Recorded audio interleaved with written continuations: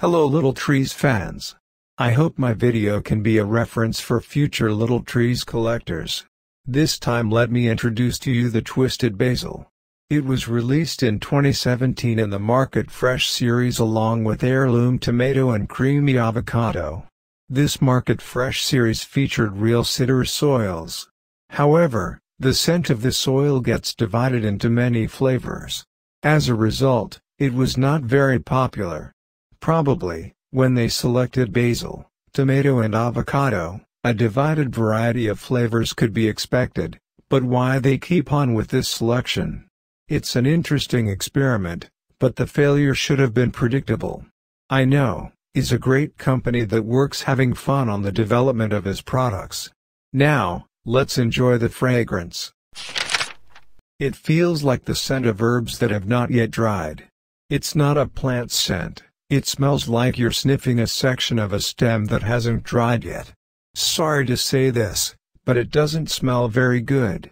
I can't feel any sweet, refreshing, or clean scent. I usually find good things to say about Little Trees fragrances and praise those. But unfortunately, I can't find anything good to say about Twisted Basil scent. So, did anyone like Twisted Basil? The Market Fresh series is characterized by its soft, watercolor-like drawings.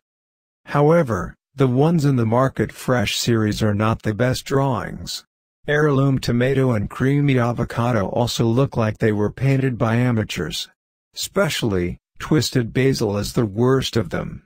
Please look at this, there's a name tag on the flower pot. They must have realized that if didn't write basil on it, you wouldn't know what it is. But I guess it shows the generosity of little trees to sell them even at this quality. Or maybe there is someone in the upper management of the company who enjoys watercolors and said, use my painting. So nobody could do anything. The next one to present the heirloom tomato, has a nicely done design, so maybe after that they didn't have enough time to care the same with creamy avocado and twisted basil. It's my own opinion but I feel a little darkness on the company. Little Tree's designs are always cute, but I'm disappointed with Twisted Basil's design. Well, next time I'll introduce you to Heirloom Tomato also released in 2017. Please look forward to it. Let's see you again on next weekend.